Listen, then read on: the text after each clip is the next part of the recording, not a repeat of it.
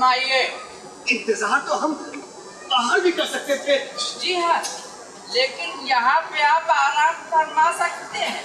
लेकिन हम तो आराम नहीं करना चाहते। जी हाँ हम तो अपना सफ़र जारी रखना चाहते हैं। हमें पहले ही बहुत देर हो माफ़ चुकी कीजिए जनाब आपको थोड़ी देर रुकना तो पड़ेगा। यहाँ काफ़ी जगह है काफ़ी कमरे हैं यहाँ। रात भी काटनी पड़ी तो जरा भी दिक्कत नहीं होगी। अल्लाह करे हमें यहाँ रात गुजारनी पड़े। अरे हमसे तो कहा गया था कि हम एक आध घंटे में अपना सफ़र जारी रख सकते हैं। बस इतनी सी देर में कि हमारी लारी का इंजन ठंडा हो सके। साहब आगे बहुत सीधी चढ़ाई है। रास्ता काफ़ी दुश्वार है। तीसरी बार रोका गया। हर बार हमारे कागजात की जाँच पड़ताल हुई है। अरे हम कोई अरे क्या? मैं एक सरकारी मदरसे में पढ़ाता हूँ। जाँच पड़ताल की कोई खास वजह है क्या वजह क्या होगी अभी थोड़ी देर में आप सफ़र पे रवाना हो जाएँगे। लेकिन अभी हम यहाँ किसका इंतज़ार कर रहे हैं? मैं क्या अर्ज़ करूँ हुजूर? मैं तो एक अपना सा मुलाजिम हूँ। जब से ये गड़बड़ शुरू हुई है तब से इस पहाड़ी किले पर अकेला पड़ा हूँ। सब कुछ मुझे ही देखना पड़ता है। आप लोग बराए करम तशरीफ़ फरमाएँ।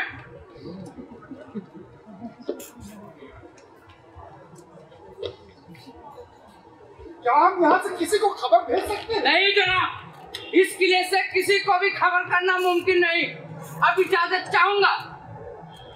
देखो आप लोगों के लिए कुछ कंबल वम्बल मिल जाए तो सुनो देखो मेरी बात तो है ही। मुझे उम्मीद है कि बाकी के हजरात भी यही कहना चाहेंगे।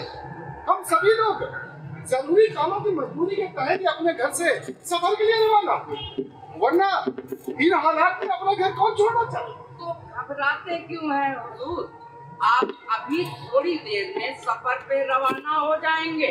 आप तो ये बताने की तकलीफ़ गवारा करेंगे कि यहाँ का आखिरी आला कौन है?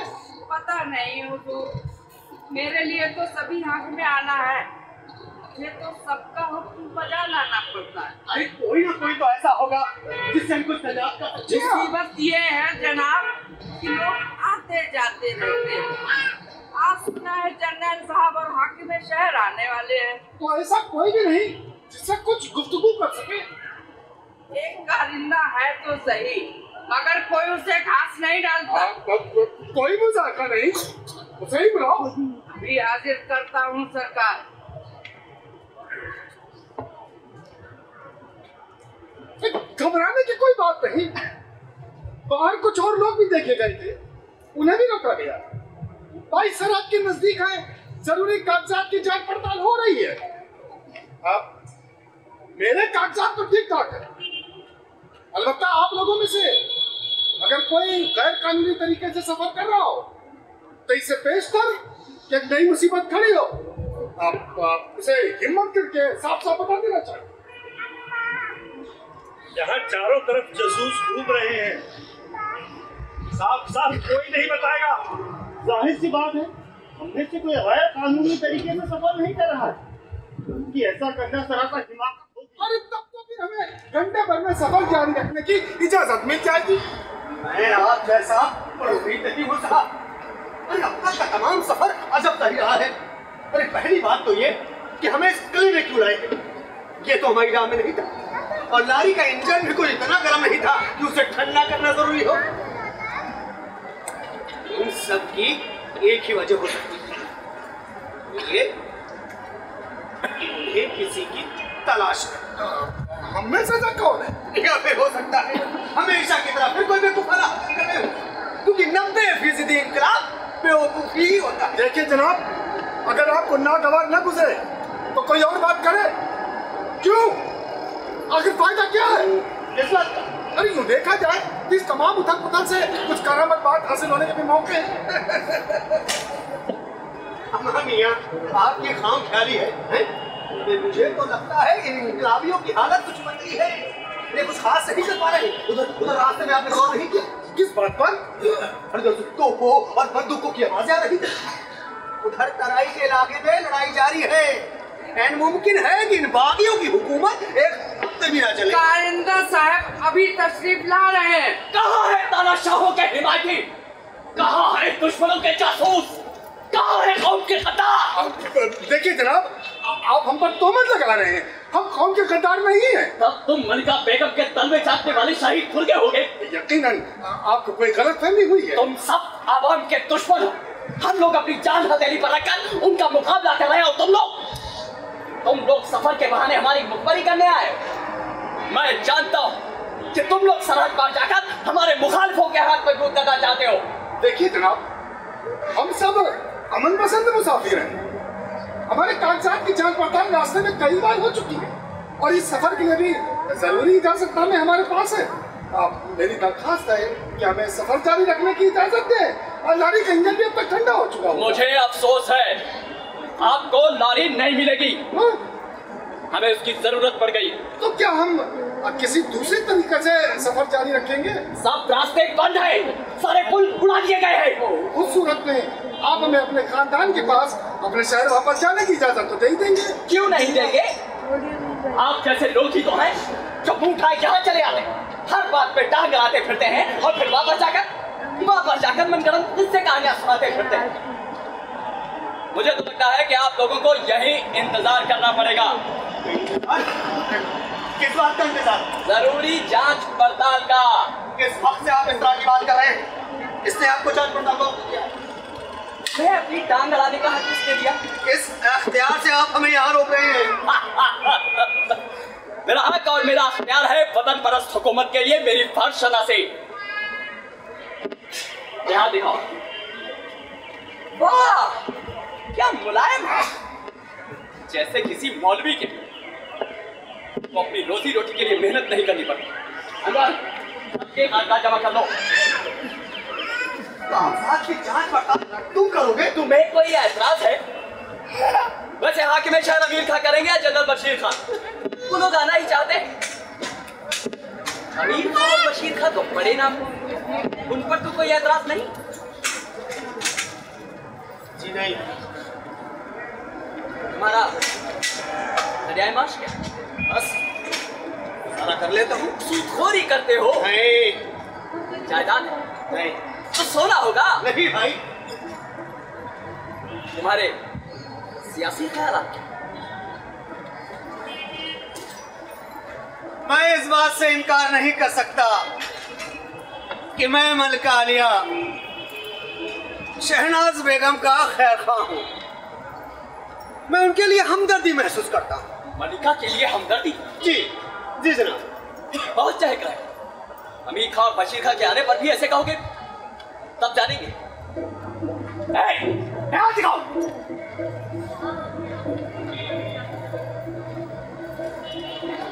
चलो आगे बढ़ो हो गई अब। तो के साथ भी सैर सवाने पर जाने लगे। मैंने ज़िंदगी भर अपने हाथों से कोई काम नहीं किया। मेरे आगे पीछे हाथियों की फौजें हाजिर रही। चलो बाप आप जरा।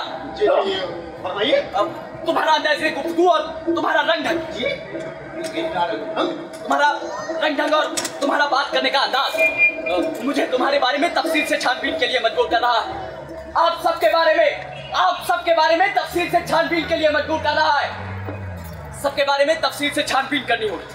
कुछ मामला है जो साफ़ करने होंगे। अनवर इन सबको छोटी छोटी टोलियों में मेरे पास अंदर भेजो। चलिए साहब आप और आप चलिए।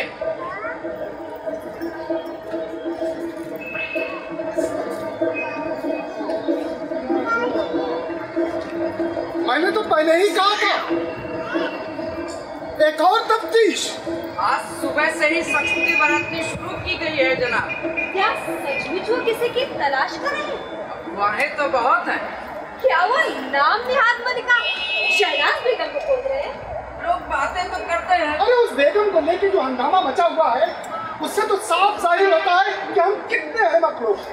मेरा तो ख्याल था वो आफत की परखाला पाँच बरस पहले ही मरखप गई है। लेकिन आम लोगों का यकीन है कि वो अभी तक ज़िंदा है। क्योंकि सलीमगढ़ के तहखाने में किसी औरत की लाश नहीं मिली। लेकिन उस वक्त तो वहाँ सभी मौजूद थे सिपाही सालार और वज़ीर वगैरह। वो भी वहाँ। अरे अरे तुम लोगों ने सुना नहीं। अरे ये तो बड़ा दिलचस्प किस्सा। कहते हैं बागियों ने जब सलीमगढ़ पर हमला किया तो वो अमल का आलिया शहनाज बेगम को निशाना बनाना चूक गए। बाकी सभी मारे गए लेकिन उस फसाद की जड़ को कोई नुकसान नहीं पहुँचा। वो लाशों के अंबार के नीचे सही सलामत सलीमगढ़ के पास वाले दरिया पर चार सिपाही पैरा थे शाम के चुपड़े में एक औरत नमूदार थी वो सर से पाँव तक खून से तरबतर सिपाहियों ने पूछा, कहाँ जा रही हो? वो बोले, तुम कौन हो पूछने वाले? सिपाहियों ने कहा, हमें हर शख्स को रोकने का हुक्म मिला है, खास तौर पे औरतों को। उसने कहा, तुम मलिका आलिया को ढूंढ रहे हो? उन्होंने कहा हाँ वो बोली मैं हूँ मैं हूँ मलिका शहनाज बेगम। बताओ बताओ मेरा जुर्म क्या है? बड़ी जीदार औरत है। हाँ अरे वो बड़े यकीन और इत्मीनान के साथ बात कर रही थी। वो ऐसे रौब के साथ निकल गई कि सिपाहियों को पता ही नहीं चला। और जब उन्हें होश आया तो वो जंगल में गायब हो चुकी थी। क्या लाजवाब किस्सा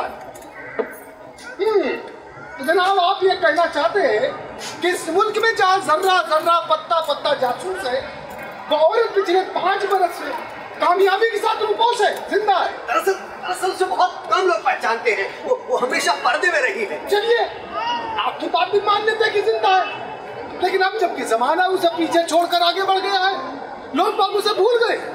तब वो सबके सामने फिर से आने की कोशिश क्यों करेगी? अब फिर फिर उस कातिल औरत को आप मलिका क्यों कहते हैं? अरे मलिका तो कभी थी नहीं। उसके मुसाहिबा पिछले कुओं ने भी उसे कभी इतना सर नहीं फिर भी आवाम उसे मलिका ही कहती थी। जनाब आवाम का क्या? आवाम तो हमेशा से गुंडों से मुतासर होते हैं।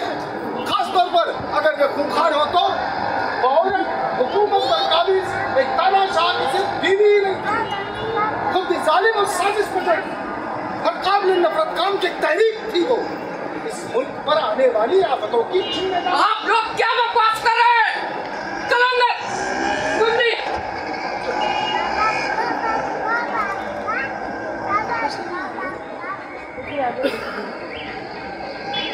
मैं मैं उस औरत से नफरत करता हूँ।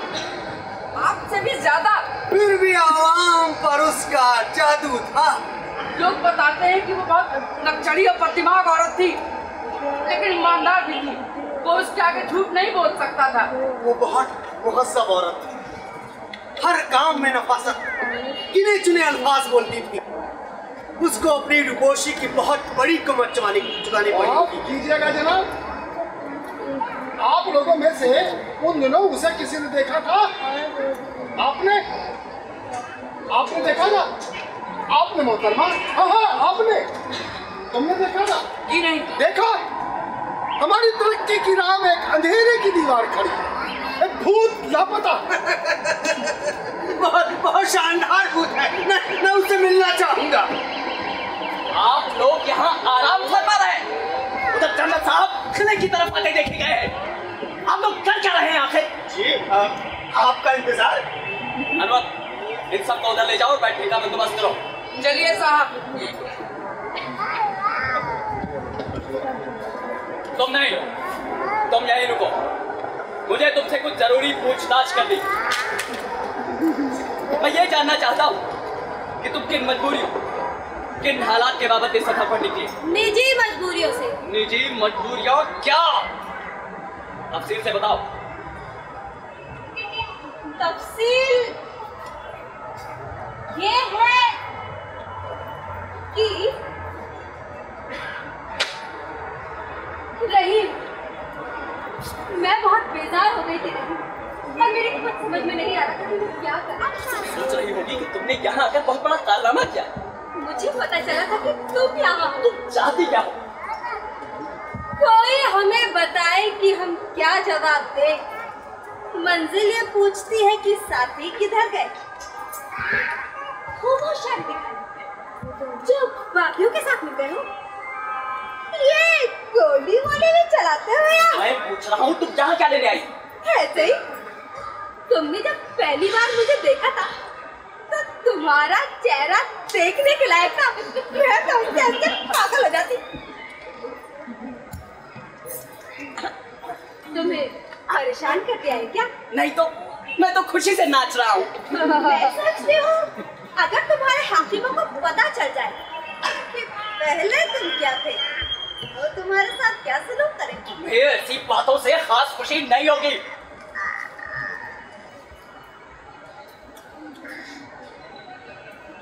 कब चली? कल। कुछ नकामा है। ज़्यादा नहीं। वो तो मैं जानता। मेरे पास जो था सब बिक गया। ऐसा कुछ खास था भी नहीं। ज़्यादा दाम भी नहीं। मेरी जान तुम्हें यहाँ नहीं आना चाहिए था। मेरी यहाँ नौकरी लगना एक करिश्मे से कम नहीं था। जाने क्या क्या किससे सुनाए। ये मत सोचना कि मैं दोबारा मुश्किलों में फंसना पसंद करूँगा। मैं तुम्हें भागने पर मजबूर नहीं मेरी जान। मुझे अपनी ज़िंदगी बचाने के लिए वैसे भी बहुत पापड़ बेलने पड़े। तुम तो औरत किसी न किसी तरह बच निकलो। लेकिन ये बेवकूफ़ हर किसी पर शक करते हैं। जरा कुछ हो तो गुस्से से कांपने लगते हैं। मैं इस झमेले से ज़िंदा निकलना चाहता हूँ। और दौलतमंद हूँ। हाँ आखिरकार किसी न किसी की जीत तो होगी। अब जीतने वालों के साथ मिलकर लूट मार करोगे कत्लो गारत करोगे तो हीरो कहलाओगे। और अगर यही काम हारने वालों के साथ करोगे तो बर्बाद हो जाओगे।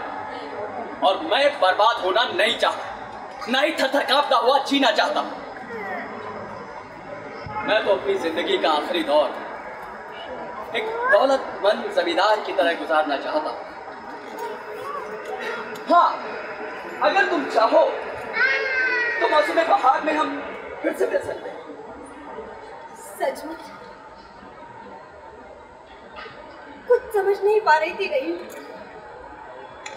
क्या करूँ? चंद रोज पहले? सिपाही मुझे पकड़ कर ले गए। क्यों? ऐसे? बाज़ार से गुजर रही थी। बस पकड़ ली। अकेली औरत का जीना बहुत दुश्वार ये क्या? हुआ तो। कुछ नहीं। कुछ लोग खुश ज़रूर हो गए। मुझे रात चौकी पर गुजारी पड़ी। सुबह हवलदार साहब मेहरबान। उसने पूछा, कोई है जो तुम्हें पहचान सके? तुम्हारी जमानत दे सके? वक्त मुझे महसूस हो रही कि मैं किसी को नहीं जानती। लोगों को प्यार के नामों से जानती हूँ, लेकिन मुझे जाने की कौन ज़िंदा कौन भाग गया है? मैं के बर्फ़ खोल रही थी। लेकिन एक भी नाम याद नहीं आ रहा था। फिर क्या हुआ? उसने मुझे शहर छोड़ने का हुक्म दे दिया। बड़ी मुश्किल से सफ़र पर जाने वाले इस काफिले में शामिल हो पाए बारिश हो रही थी। मेरा लिबास भीगा हुआ था। बार बार कागजात की जाँच पड़ताल। पर मेरा कुछ इस्पात भी चोरी हो गया। गाँव तक आसान नहीं। मैं हूँ, है गर्दिश आयाम तेरा शुक्रिया हमने हर पहलू से दुनिया देखी। मेरी खुशकिस्मती है गई। नहीं, जाने मन यहाँ लोगों को मालूम नहीं होना चाहिए कि हम एक दूसरे को जानते। ये दोनों की भलाई के लिए कह रहा तुम समझते क्यों नहीं रही? मैं वहाँ नहीं रह सकती थी। मैं बहुत डर गई थी। मेरे ऊपर कोई इल्ज़ाम तो नहीं था फिर चारों तरफ़ बहुत खबरदार डर था। किसी से जरा सी शक मिल गई? या किसी ने झूठ का झूठ कह दिया तो सीधा फांसी का फंदा हज़ारों लोग ऐसे ही तुम क्या सोचती तुम्हारी बातों में आकर तुम्हें यहाँ रहने के लिए कह दूँगा। जितने खतरे तुम्हें हैं मुझे से कम नहीं। और दोनों के खतों को एक जगह इकट्ठा करना सरासर हिमाकत होगी। नहीं अचल हर शख्स को अपनी हिफाजत आप करनी होगी। मैं ये लड़ाई ज़मीन के ऊपर रहकर लड़ना चाहता हूँ। रहीम रहीम अगर मैं कहूँगी मैं तुम्हारे बगैर बहुत उदास थी मैं भी तो यही कहता हूँ कि तुम पर मेरा जादू चल गया। तुम मुझ पर फिदा हो। ठीक है। तुम मेरा मज़ाक उड़ा सकते हो। लेकिन तुम्हारे साथ में अपने आप को महफूज समझती हूँ। तुम्हें देखकर मैं कितनी खुश हो गई थी। लेकिन मैं खुश नहीं हुआ था। जाने मन तुम्हारा बोझ उठाने का मेरा कोई इरादा नहीं। तुम औरत हो ज़रूर बच निकलो। यहाँ तुम्हारे जैसी औरतों की बहुत मांग है। जाने बाद तुमसे खिलाना ही हाँ अब तुमने ढंग की बात की। मेरा पीछा छोड़ो और अपना रास्ता ना पो मैं तुम्हारे काबिल नहीं। मैं हूँ जो तुम्हारे आगे पीछे भाग रही। तुम्हारे प्यार की भीख मांग रही। मेरी हालत पर कोई भी हो सकता है रो सकता है। फिर तो आओ। दोनों मिलकर हंसे और फिर हँसी खुशी जुदा हो जाए। और सच तो ये है आशा कि तुम मुझे कभी पसंद नहीं की। तुम तो जैसे हर वक्त घोड़े पर सवार रहती थी या फिर सपनों के महल बना रही थी। मुझसे भी नखरे जैसे तुम कोई शहजादी थी। जबकि सच ये है कि दुनिया की सबसे खिलौनी औरत तुम हो। माफ़ करना माफ़ करना अगर मैंने अनजाने में ऐसा कुछ भी किया मैं तुम्हें दिलो जान से चाहती बात पूरी करने दो। नाराज़ नहीं लेकिन फिर भी ये कहना चाहूँगा कि तुम कोई नहीं रही जिसे मैं पसंद करता हूँ। तुम्हारे चेहरे पर वक्त की लकीरें ज़्यादा ही होती हैं।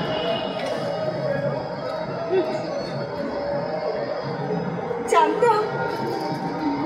अभी वो लोग जो बेगम के बारे में बात कर रहे थे तो मेरी तरफ़ हो रहे जैसे मुझे बेगम समझते तुम और बेगम।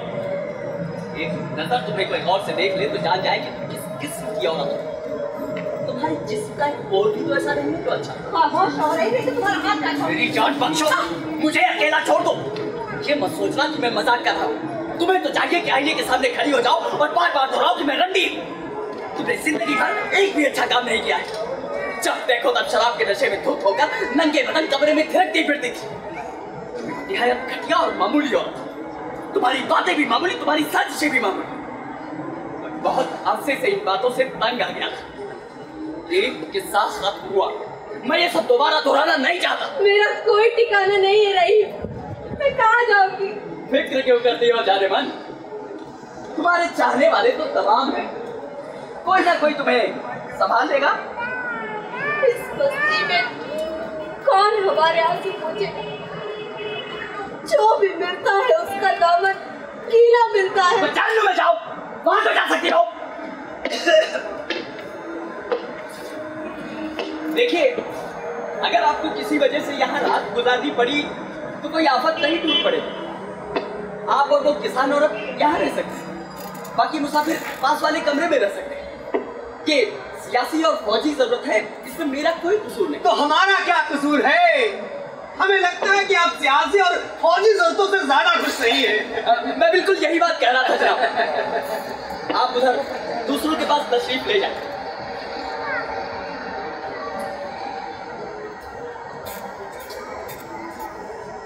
जैसा मैं कह रहा था कि मैं अच्छा इनकलाबी हूँ हाँ। लेकिन मैं हालात का जायजा लेता रहता हूँ। भाई बेचारे मुसाफिर हो सकता है बहुत अहम हस्तियाँ हों। वैसे वाले हो जो अचानक ऐसी जगह आप फंसे हैं जहाँ जहाँ एक कंबल मिलने की भी उम्मीद न हो। देखिए हो सकता है आपको मेरा अंदाज कुछ अफसरा ना लगा। वो मेरी मजबूरी थी उस तरह से पेश आया। उम्मीद है आप हालात समझ मेरा ख्याल है आप भी हालात समझ रहे होंगे। बिल्कुल समझ रहा हूँ जनाब। एकदम समझ रहा हूँ। अगर मैं आपके किसी काम आ सका तो मुझे बहुत खुशी होगी। मैं अपनी नए आकाओं के बहुत नज़दीक और वो पहले के लोगों से मुख्तलिफ़ नहीं है। वो वो तो होना ही था। अब आदमी आदमी का तो होता ही है जनाब। जी जी जी। पर ये लोग भी वैसे ही चिल्लाते वैसे ही गोलियाँ चलाते जैसे जैसे पहले हाकिम चलाते थे मेरा ख्याल है आप पहले हाकिमों से भी मिलते रहे अरे नहीं साहब खुदा गवाह कि पहले तो उनके साथ ज़िंदगी काटनी पड़ती और अब इनके साथ गुजारनी पड़ रही है। सुन रहे हैं आप? जी जी। गुजारनी पड़ती है। है ना अफसोस की बात? खास तौर पर आप जैसे आदमी के लिए जो हर हाल में ऐश की ज़िंदगी जीना चाहता है। अब अक्लमंद आदमियों के लिए ये मुसीबतें खुदा की बरकत होती है जनाब। ऐश की ज़िंदगी। आपने वजह फरमाया। भाई मेरा इन बातों के बारे में एक यकीन। मैं मैं मैं मैं ज़रूर सुनना चाहूँगा। देखिए दुनिया में दो तरह के लोग होते हैं। एक तो वो जो मुल्क मुसल्लम उड़ाते हैं। दूसरे वो जो बाजरे की रोटी से अपना पेट मुल्क मुसल्लम और बाजरा। इस फ़र्क के लिए कसूरवार है अब ऐसा तो है नहीं कि अमीर आदमी एक दिन में हज़ार मुर्गे खा जाता हो। उसे उसे बदचनी हो जाएँगे। भाई अमीर आदमी एक आध मुर्गे की डांग जमाता है। एक आध घूट शराब के गले के नीचे होता है। ज़्यादातर लोगों को बाजरे की रोटी चाहिए सीधी सी बात है जनाब कि मुर्गे ज़्यादा नहीं और मुर्गे ज़्यादा ना होना सोसाइटी की तरक्की की राह में रुकावट बन जाता। अब इससे एक बात तो साफ़ हो जाती कि हुकूमत करने वाले लोग चाहे जो भी हो लेकिन मुर्गे उड़ाने वालों की तादाद उतनी ही रहती है। एक एक मज़ेदार बात और भी है जनाब कि मुर्गे उड़ाने वाले लोग वही होते हैं। नहीं चेहरे चाहे बदल जाए। लेकिन हुक्मरान? और उनके पिछड़क को हमेशा से यही होता आया है जनाब। बड़े बड़े महल आराम कुर्सियाँ ये सब बाजरे की रोटी खाने वालों की मेहरबानी से होता है। अब ये बात जानने के बाद हमें क्या करना चाहिए करना ये चाहिए। मुर्गे उड़ाने वालों का साथ देना चाहिए। लेकिन ये हर किसी के बस की बात नहीं है जनाब क्या खुदा आप आगे थे ना साहब मैंने आपको आते देखा ही नहीं। कैसे हाँ पहले से बेहतर महसूस कर रहे हैं। क्या हो रहा है? एक मुसाफिर से पूछताछ कर रहा था। बहुत अच्छे। और मुसाफिर ने क्या बताया? वो मेरी मदद करने की तजवीज पेश की थी। उसी पर गौर फरमा रहे मैं? नहीं जनाब मैं तो इसे फंसने के लिए चारा डाल रहा था मुझे कहना पड़ेगा कि शख्स की गड़बड़ लगी। मेरा ख्याल है कि हक में शराबी का सामने से पेश करना चाहिए। क्या बेवकूफ़ी की बात कर रहे हो? आमिर खान साहब को आज़ादी दीजिए। मैं यहाँ दो घंटे पहले ही आ गया था। मैं ही हूँ हाकिम शहर अमीर खान। कैसे हो जनरल बशीर खान? डॉक्टर का कुछ इंतज़ाम हुआ? नहीं अभी तो नहीं। जल्दी करो ना। जल्दी मिले तो मुझे खुशी होगी। तमाम लड़ाई में तो मुझे खरोच तक नहीं आई।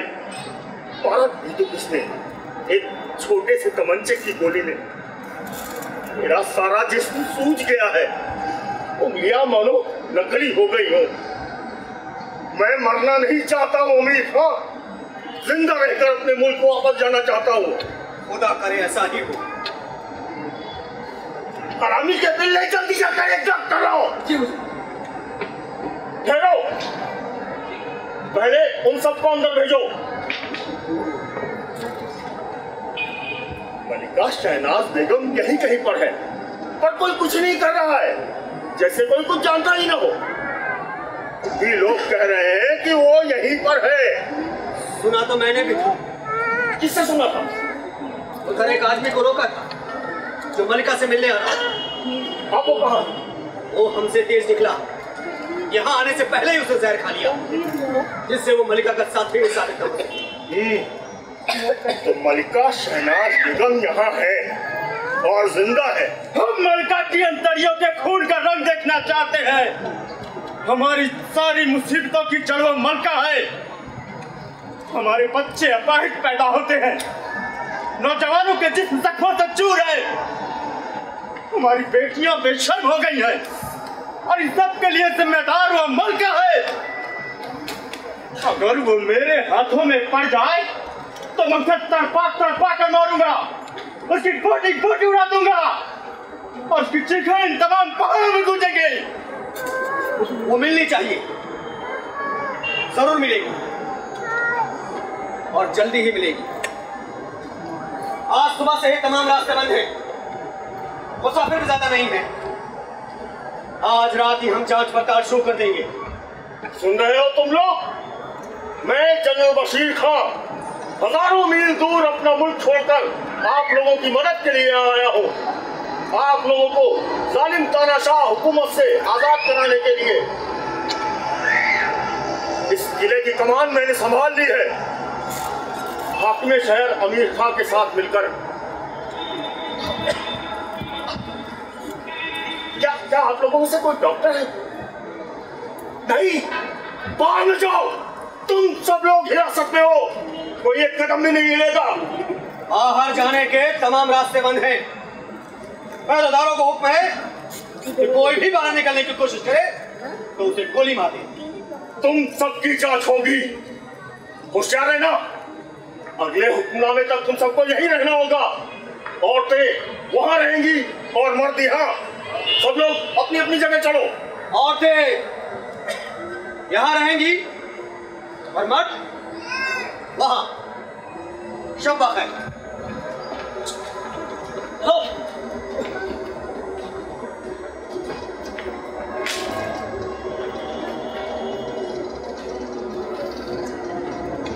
क्या पागलपन की हरकत है अब हमें यही सोना पड़ेगा।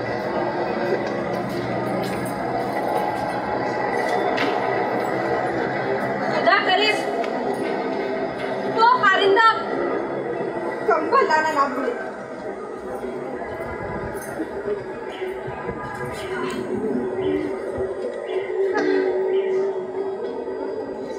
मैं तो बहुत थक गई हूँ।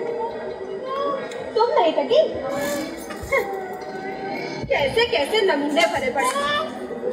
अच्छा हो अगर रात भर चैन से सोने दे।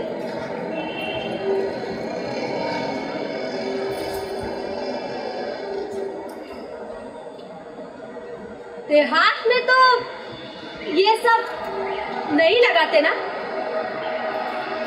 मुझे तो रोज लगानी पड़ती है। मुझे आज ही बताया गया है कि मैं अब उतनी जवान नहीं रही जितनी पहले थी। अगर अपनी देखभाल नहीं करूँगी तो मुसीबत में पड़ूँगी। कभी कभी लगता है कि ज़िंदगी कितनी शर्मनाक है। आदमी के मुँह पर थूकने को भी मना हो तो भी उसके साथ सोना ही पड़ता है। माफ़ करना, इतनी खुली बात कह रही हूँ। आखिर हम दोनों औरतें ही तो हैं। ऐसा नहीं है कि ये सब कोई खुद अपनी मर्ज़ी से करता है। लेकिन ज़िंदगी कितनी घिनौनी और सही बात है।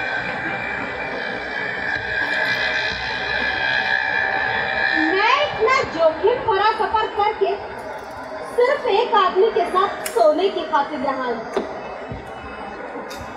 पैसा ना होना भी तो मुसीबत है। शायद मौत के बाद किसी तरह की फ़िक्र ना रहे। तुम्हें भी लग रहा होगा कि कैसी औरत है जो बक बक बक बक किए जा रही है।